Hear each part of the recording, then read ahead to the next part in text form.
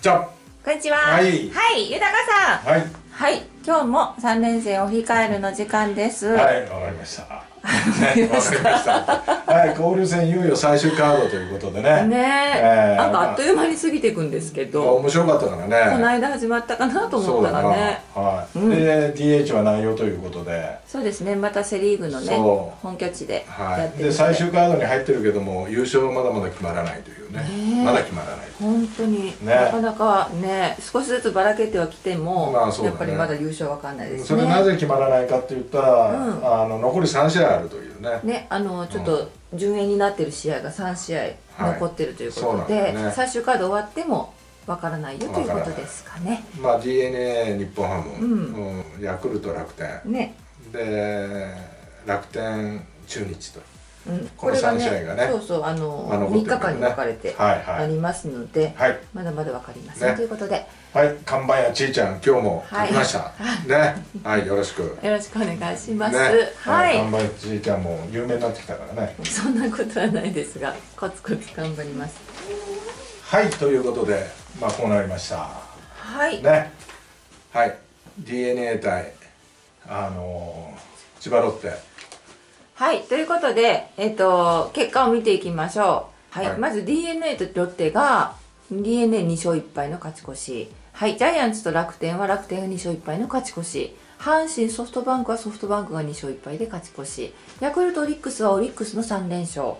広島西武が広島の2勝1敗の勝ち越しですね。で中日日本ハムは日本ハムの3連勝ということになりました。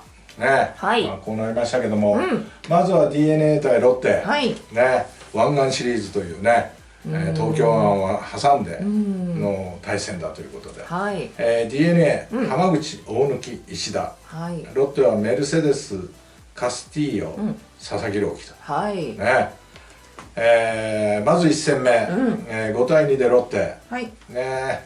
角中はい。先制タイムリー、ね、3点タイムリーといううね、ん。で交流戦でね打率が3割3分6厘になったんだよね。通算打率が、角中選手ね、ちょっと最近名前よく聞いやきますよね。そうそうそう。で青木がねトップだったの、3割3分でトップだったんだけど、うん。こうこの日、あのー先制タイムリーを打って抜いたというね、あえーでねこの試合でねやっぱりた浜口が、うん。まあ、やっぱ立ち上がり悪いね、うん。まあ、フォアボールとかランナー貯めてタイムリーを食らうという、まあ、大体浜口っていうのは、うん。立ち上がりさえスッといければ高騰するんだけどもね、はい。まあ、4回3分の297球2安打6四球うん。打たれてないんだよそんなに、ねうん。だけどやっぱフォアボールを出すというね、うん。えーまあそういう試合だったけどこの試合ではい。ロッテの増田、うん。史上10人目の200セーブというね。ねえ、おめでとうございます。本当におめでとう。あの迷宮会まであと50セーブということでね、うん。まあこれはなんかクリアしていきそうな感じがするよね。ねはい。まあ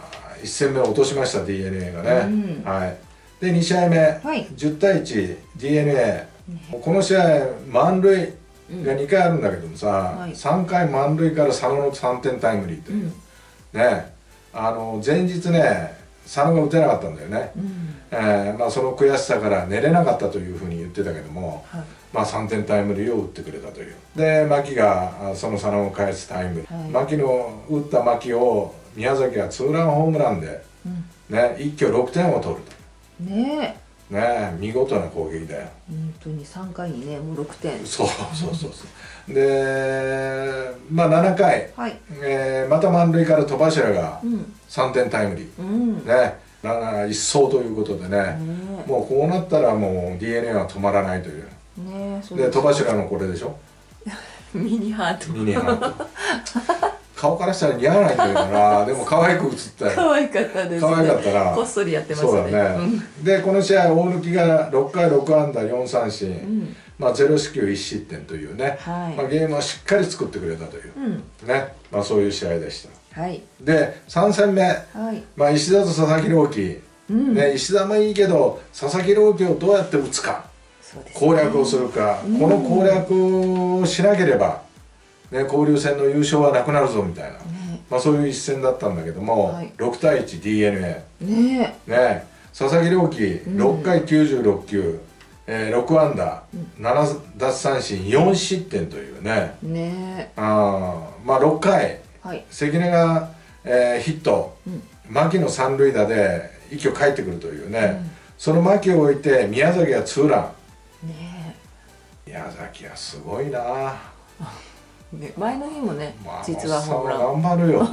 本当に。おっさんって。いやいやもうね、うん。広角に打てるし、はい。まあその横浜スタジアムではうん。広角にホームランを打てるからやっぱ強みがあるよね、うん。うん、だからそういう意味ではやっぱ宮崎が牧の後ろにいるっていうのはやっぱ牧もやっぱ再三言ってるけど打ちやすいだろうしね、うん。で勝負もしてくれるから、はい。やっぱ打点も稼げるということでね。その牧を必ず宮崎が返してるという。ね打ったご褒美かなんか知らないけど いや本当にそのぐらいなんか頼もしい宮崎だよ。えう、うん。ん、ねでこの試合ねまあそれだけでは飽き足らず、はい。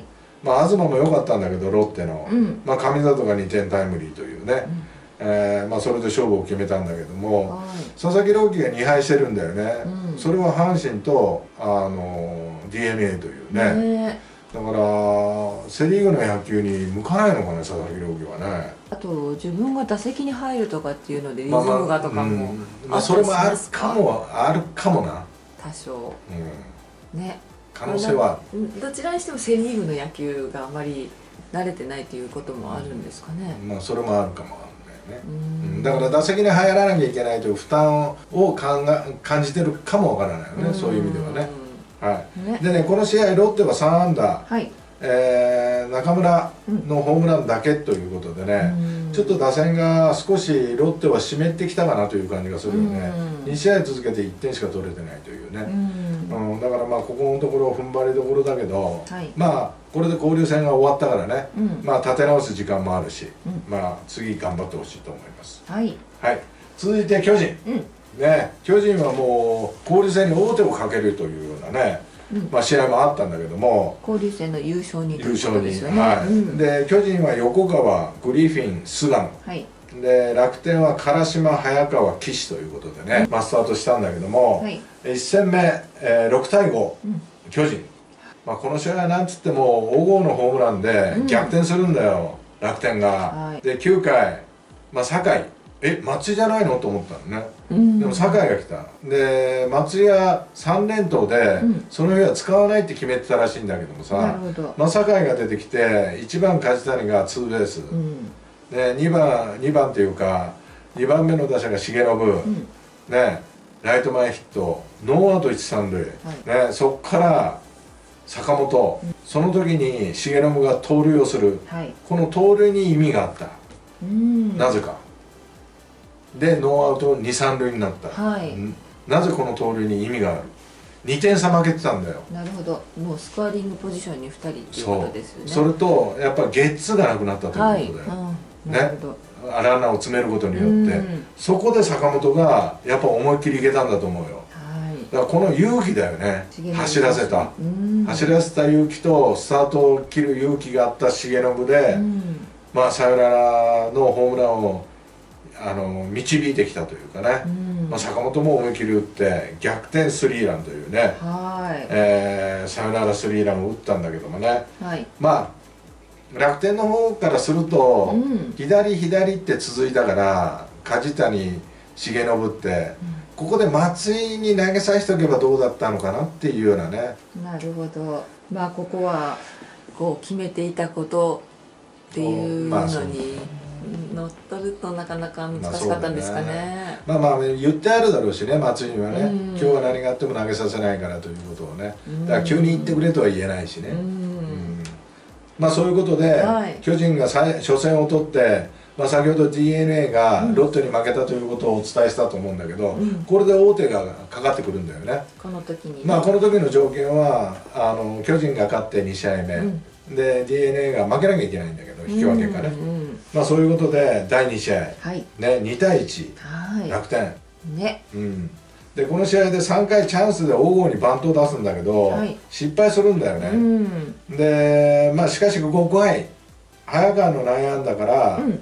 がツーランホームランバントの失敗を取り戻すというね、まあなんか最近「おごおご」って俺は言ってると思うんだけど、はい。の活躍が目立つよね。う、ん。よく聞きますね。よく聞くよね。はねで6回大城が追撃のホームランを打つんだよ。はい。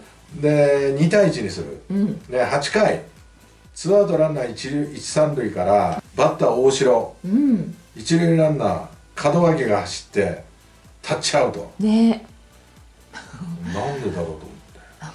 だってホームラン打ってんだもん、はい。大城。ね。それとやっぱ左バッターだから一三塁で一塁に置いといて、一二塁間を開けといた方が一塁手がベースにつくよね、うん。開けといた方が仮に成功したとしても大城は打ちやすかったと思うよ。なるほど。うん。この盗塁はこう指示だったのでしょうか？なのかね。これはサイン違いなのか、うん。っていうようなプレーです可か能性もあるよね。うん。でも一気に逆転を狙って、うんえー走らしたのか、うん。ちょっと不可解だったけど、はい。でもこの時のね太田の送球っていうのが、はい楽天のキャッチャーね、はい。見事だったわ。ここしかさせないっていうようなところで、うん。に投げてるし、うん。だから非常にいい送球だったね。これは別に走ってくるだろうなっていうところではなかったとは思うんですが、でもね準備はしてた。なるほど。これなぜかというと、うん。昨日のうん。重信の盗塁があるから、ノーアウト一三塁でなかなか走らないよね、うん。だってアウトになったら、うん。なんか攻撃アウトになっちゃうもん、うん。でも原監督はやっぱ攻めたかったんだと思うよ、なるほど、うん。うん。はい、このね盗塁がこう1点差なので勝敗にちょっといろいろまあと8回だったしな。ありましたかね。ああったね。はい。はい。で3戦目、うん。えー2対1、はい。楽天うん、ね。また1点差ですね。そう。岡本のタイムリー、はい。先生のね。岡本やっぱ調子いいな、うん、でも6回。辰巳がツーランホームランで逆転というね、はい、その後、うん。楽天のピッチャー渡辺内安楽鈴木松井、ね、5人の投手で逃げ切るというね、はい、えーでまあ9回うん、一打同点というね、まあ、チャンスを作っていくんだけどジャイアンツも、はい、でもドラマは起こない。この日は起きなかったというね。はい、はい、で菅野が、うん。まあ、あの2試合目の登板。うん、で6回85球3安打、うん、4三振、はい、でね前回はね確かね4四球かなんかあったと思うんだけども、うんうんうん、でもこの日はねあ0四球、そうですね。うん。うん、だけど一発を食らったというね痛い、ね。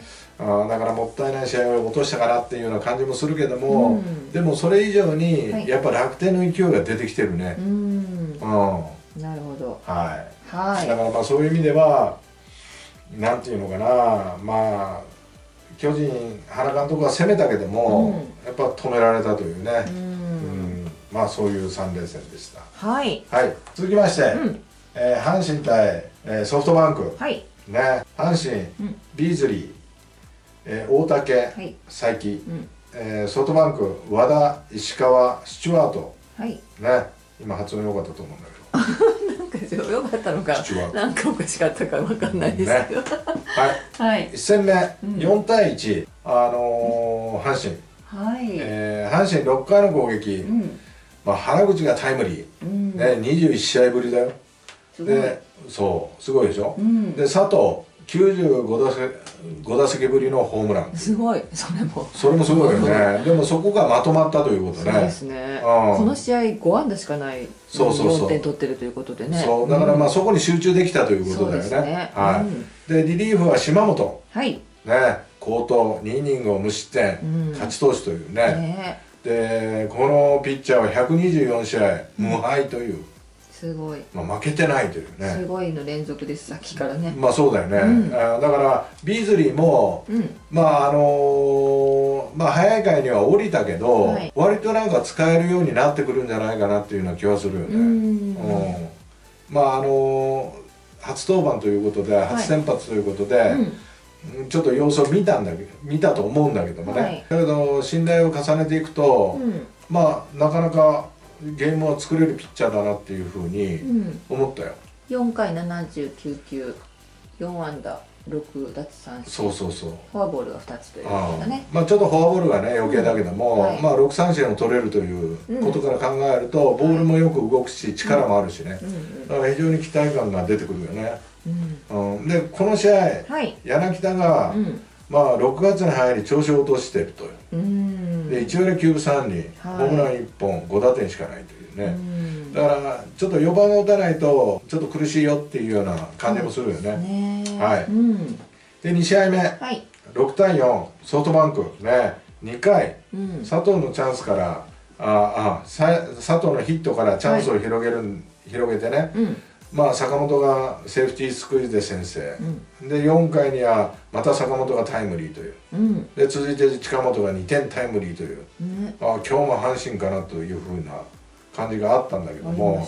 ね。うん、5回に甲斐がタイムリー、うん。あれ？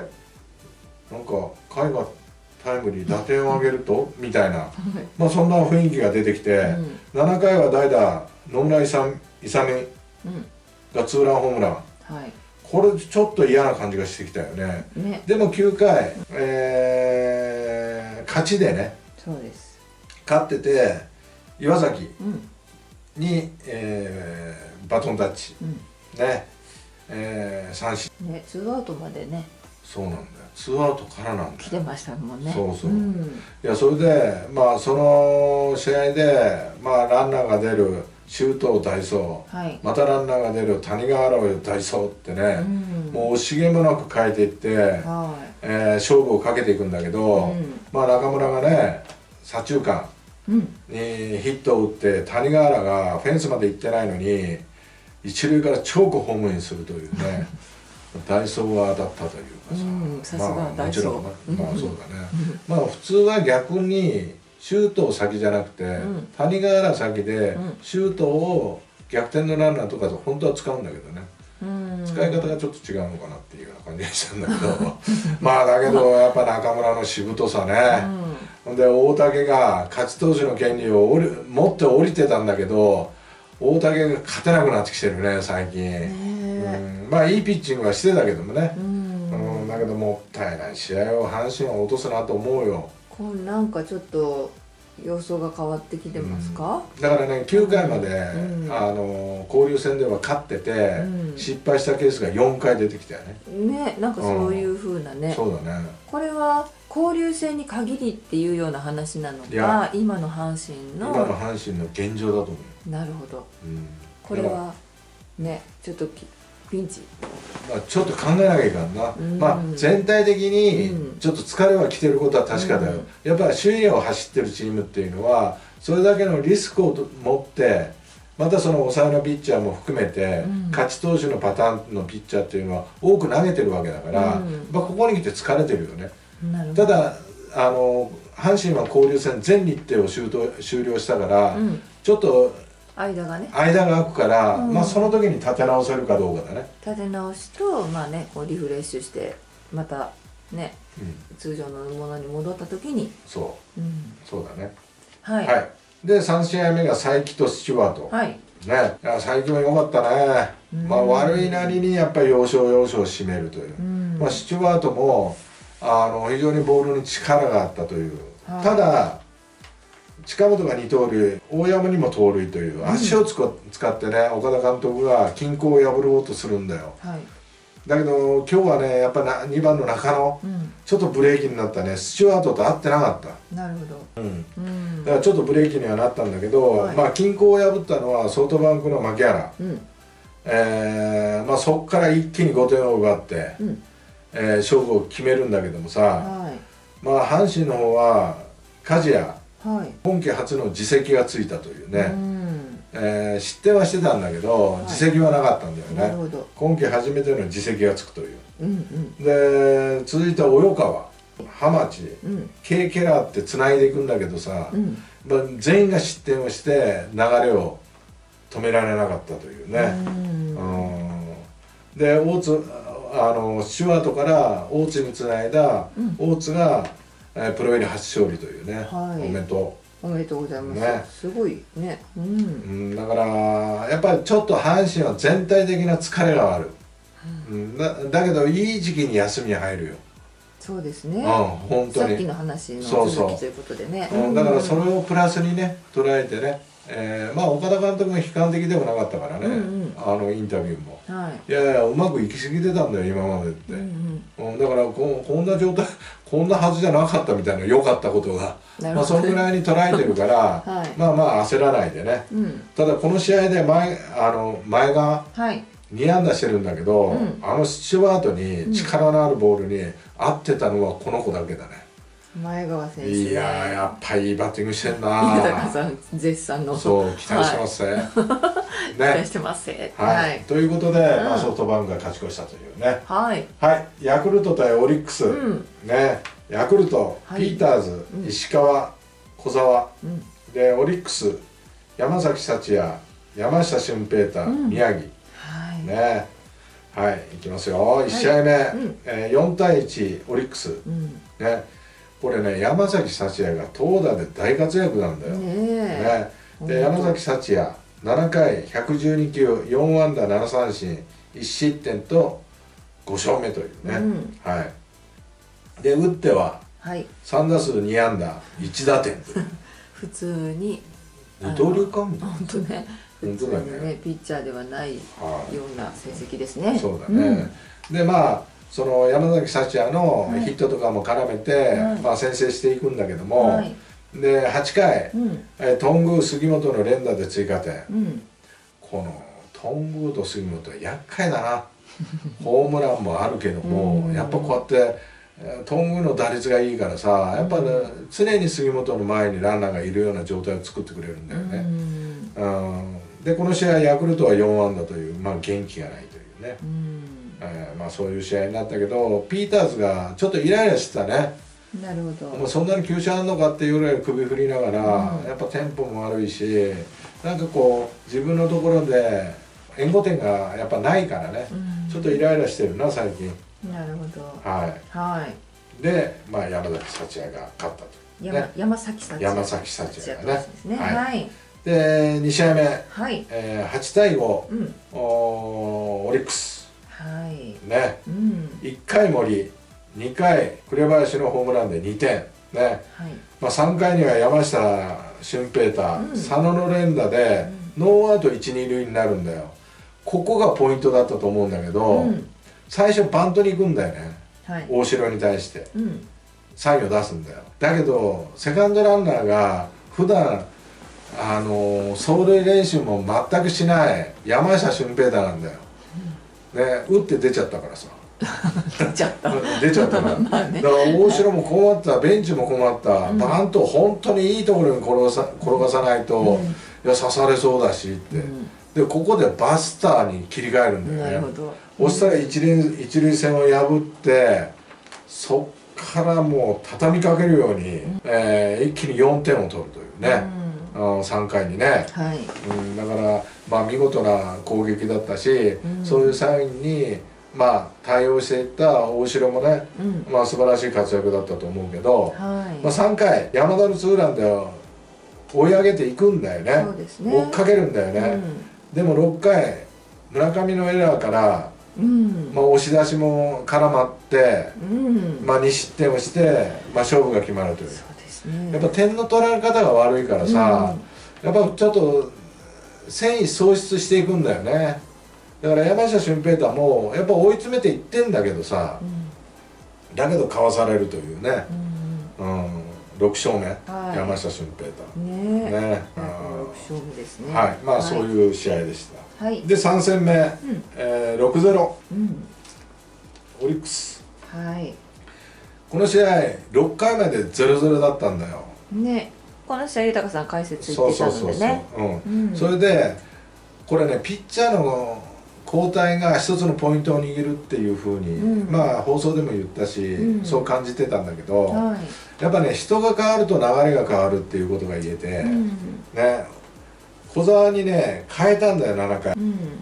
あの星にね。はい。これはもうもともと6回までっていうような。そう。小沢はねやっぱリリーフを主に練習してたし、はい。キャンプでもそういうような状態だったんだよね、うん。で小沢を先発に使って、うん。やっぱ球数はあんまり投げさせてないんだよ。うん。だからもう限界っちゃ限界。でもいけるっちゃいける。まあじゃあい、まあ、大体100球目のみたいな感じでいたのか6回までとかっていう想定がまあ100球数だろうな。あったんですかね。うん。うん。あと打順もあったと思うんだけどほうん。いやそれで星に変えて、はい。星がね変わった7回の初球うん。ね頓宮にホームランという。うん。やっぱ流れ変わっちゃったなと思ってはい。えーまあ、この回その回にゴンザレスの満塁ホームランなどが出て、うん。まあ、一気に6点というね、ええうんまあ、投手交代がポイントだったなって思うのと、はい。で宮城。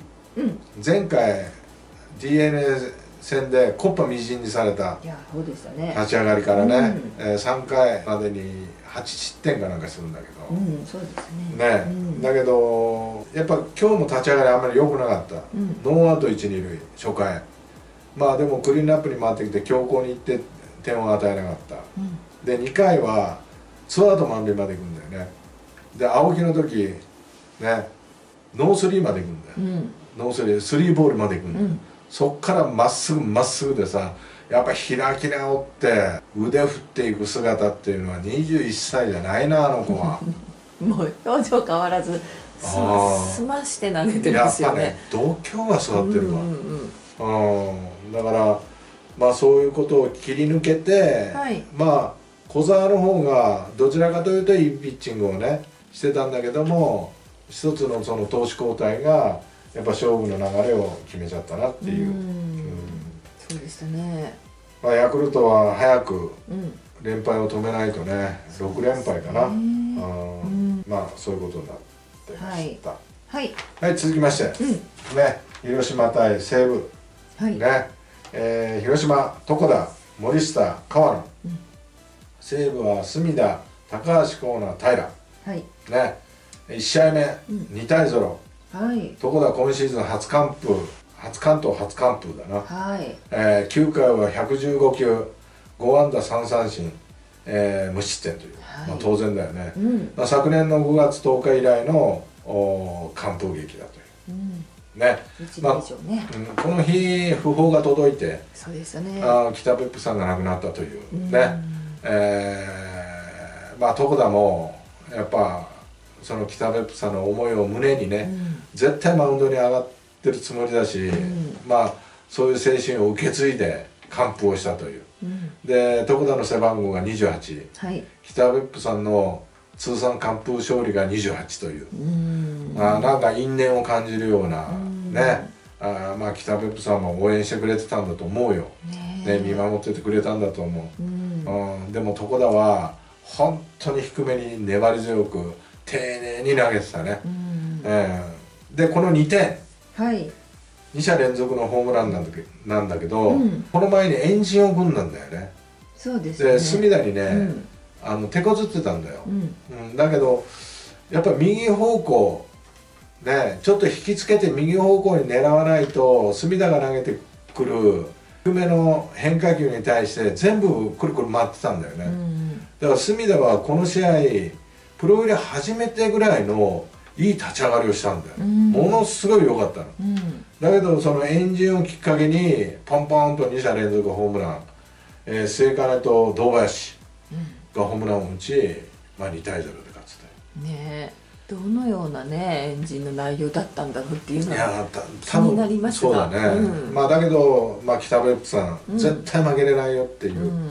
ことを精神的なことを言ったのかもわからないし、うん。でもその床田がね、うん。えーこのウイニングボールは北別府さんに届けますという。そういうことでしたね。あーあったかいな。うん。でも北別府さんも絶対喜んでるはずだよ。うん。ね、はい。どっかで見ててくれるはずだから。本当ですね。はい。はい。2試合目。ね。6対4うん。あー広島。はい。ね。秋山先生タイムリー。嬉しかったろうね。うん。古巣に対して。ね。打てたというね。ね。はい。で4回にはスクイズ失敗。広島がね。はい。だけどそのボールが空振りしてるんだけどワイルドピッチになるんだよ、うん。ツーナッシングだったんだよそしたらワイルドピッチの中で三塁ランナーがホームインしちゃうんだよ。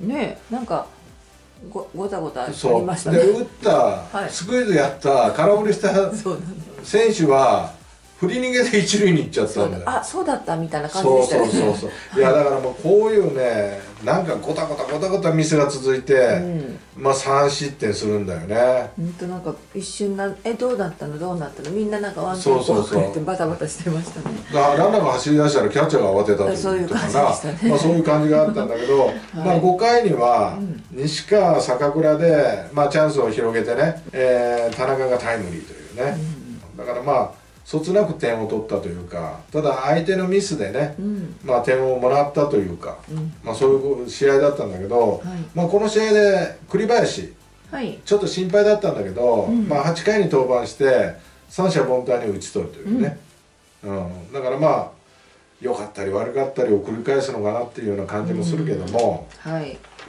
まあ、西武も10安打するけどさ、うん。まあ、ミスが多いのと、まあ、高橋光成がうん。やっぱちょっとゲームを作れないかなここのとこな、ううん。んだから失点をしてしまうというね、もっとパンパンいくピッチャーなんだけどもね、うん。うん。まあそういうことで広島が勝つと。はい。はい、3試合目11対4西武が勝ちました、はい。まあ、西武はこの試合4本のツーランホームラン。はい。4本のツーランホームランってなかなかないけどさ。それだけで8点。そうそう。だからそれを打った選手は長谷川渡辺外崎、うん。えー岸という。うん。ね。で平が7回127球、はい。6安打11三振、うん。まあ3失点。はい。まあでも平はね気をつけてほしいのは先取点を与えるんだよね。うーん。だから先取点をできるだけ相手に与えないように。まあ今日でも3失点からのスタートだからさ。うん。だからまあそういう意味では平立ち上がりとか、うん。まあ、先取点は与えないようにねしてほしいなと思う、はい。で川野、うん。ね、5回92球4安打、はい。えー6三振、うん。6回で6三振取ってるんだから大したもんだと思うんだけど、ね。まあ、3四球5失点というね、うん。あーやっぱフォアボールも邪魔だしうんね。まあ5失点というのはねう、ん。まあちょっといただけないかなという。でも、ね。6三振を取れるピッチャーっていうのはそれなりのものを持ってるなっていうような伝わり方をする。そうですよね。そうそうそうそう。5回で6三振そうそうそう。ただね本当ねフォアボール3つとデッドボール1つのそうだよ、四死球が4つっていうのが。うん、ちょっとね。うん。はい。あれですかね。で広島は、はい。あー中継ぎ陣。うん。ねちょっと制裁を変えたというね、うん。だらだらだらだら失点を重ねたというね、うん。まあそういう試合になっちゃいました。はい。はい。はい。続きまして、はい。中日対日本ハム、うん。ね、中日小笠原松葉福谷うん。日本ハム上沢伊藤北山。うん。ね、え1試合目2対1、うん。日本。上沢が粘りのピッチングを披露してくれました。ね。7回に一死満塁。うん。ね。代打高橋周平を三振。うん。まあここが勝負だったと思うんだよね中日はね。はい。で続く代打伊藤をピッチャーゴロに打ち取るというね、で8回112球3安打5三振、まあ、1失点の6勝目というね、うんね。えーまあ噂らしいといえば噂らしいけど、うん。まあ、粘りもあるしあの多彩だったね。うん。はい。で4回。はい。ね1対1から4回にホースボークという、うん。まあ、別の動画でも披露してるんだけども、はい。あーそういうので決勝点を挙げるというね、うん。まあ、三塁ランナーが万波一塁ランナーが上川端うんツーアウト一三塁、うん。ね、ピッチャー小笠原、うん。左はい。サードランナーを背にする形になるよね。うんで万波がスタート。うん。スタートを見た小笠あの上川端がうん。走る動作をする、うん。そしたら慌てて飛び出したと思って小笠原が投げる、うん。その間に万波がホームイン。うん。で上川端上川端はアウトになるんだけども、はい。ホームインが先ということで認められて、それが決勝点になるこれもう本当限られた場面でしかできないというかいやそうだね。ピッチャーも左でというようなうん。ことでですよね。だからなんていうのこれでもう新庄監督はしてやったり、ね、やられた立浪監督がゴンギャクを蹴るというね。蹴り上げても。いやもうそのぐらいにえくり返るぐらいのやられたっていう感じだよ。ねえ、うん。まあこれはされる側としてははい。読めないことですか、なかなか。いやでもね、うん。日本ハムを相手にしておけば、うん。やっぱね新庄監督っていうのは奇想天外なことをやってくるっていうことの準備はできたと思うんだよね、なるほど。まあ、その中の一つに、うん。ホースボークっていうのはやっぱ頭に入れとかなきゃいけなかったという、うん。左ピッチャーだけにね、うん。だからそれはやっぱコーチが守り方として選手に伝えておくべきだったね、うん。うん。このフォースウォークを防げる確率っていうのは防げる確率っていうのは低いですかやっぱり？もうねキャッチャーも万波がスタート切ったの分かったのよ、うん。でもね絶妙のタイミングで上川端が飛び出した。これはじゃあ上川端選手のこうこうなんていうの？そう。このタイミングが一番難しいんだよ。そうですよね。あのねただね万波も左ピッチャーがフォームを見てサインをこう決めてるでしょ、うんその時に一塁ランナーを見た瞬間にスタートしないと、み見てないのに飛び出せないでしょ、うんうん。でこうやったら視界に入ってくるから万波が。一塁をこうやって見てセットした時にスタートなんだよ、うん。でスタートした瞬間に上川端も行かないといけないから、この絶妙のタイミングがバッチリあったということだもうみんなが見てるとこが違うんですねそうそうそうそうそう。ピッチャー見てる人ランナー見てる人だから小笠原飛び出したと思って、もうものすごい速いボールをファーストに送ったけど福田も分かってるわけよ、万波がスタートしたっていうの。を、そうもうその時点でもう防ぎはないですねいやもう成功だよ、ね。うん、でも予備知識があればあのなんていうの小笠原が外してサードランナーを見て一塁に投げるけどね、まあ絶妙だったよ、うん。うん、それはね俺は気持ちわかる誰ゴミ箱蹴り上げる。そんな屈辱だよ。津波監督。ああ。うん。まあまあちょっと熱く語りましたけど2試合目。ですね。はい、はい。えー6対3、うん。日本ハム。ね。細川タイムリースクイズなので、まあ、3点までに3点リードをするんだよね、うん。だけど6回はい。上川端フォアボール万波ヒットでつないで、うん。まあ、2人のランナーを置き、まあ、昨年まで中日にいたマルティネスに逆転のスリーラン。ね。あー。まあ逆転になったのは、うん。5回に伊藤大海がねタイムリーツーベース打ってんだよね。はい。だから3対1になってるわけ。うん。でまあマルティネスの、まあ、ライトへの右方向へのホームラうん。ンが逆転になったんだよね。うん。これもねこれはゴミ箱じゃなくてバケツぐらい蹴りたいぐらいだよ だって昨年の、うん。あのいたんだから中日に。ね。でもこんな活躍しなかったわけよ。まあ中日では、やっぱりこうねチームも変わると。まあ、働きやすさとかね。ね。まあ新庄監督がうまく使ってんなと思うのは、うん。まあ、キャッチャーもやらせながら本職のね、うん。えーマルティネスを使ってるということ、うん。まあ、この日この日は一塁で出てたんだけどもね、はい。はい、だけどもうこれはねゴミ箱とは言わず、まあ、バケツぐらい蹴り蹴り上げたいよね。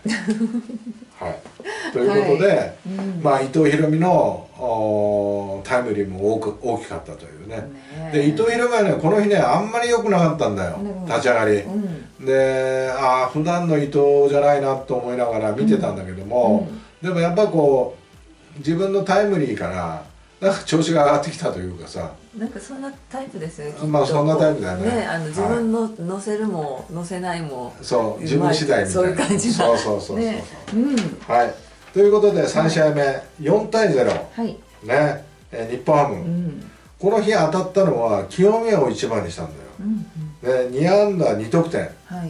ね、えー非常にあの塁に出て、えー貢献度が光ったというね、うんうん。それとこの試合松本万波マルティネスというね、まあ、主軸が打点を上げてくれてるんだよね、うん。だから非常に打線も流れるようになったし、はい。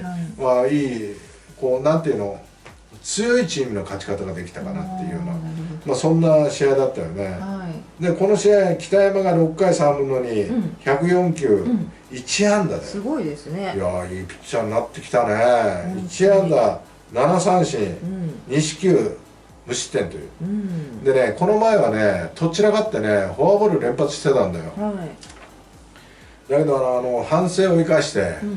ねこの日は、まあ、6回3分の22四球。うんまあ合格点かなという。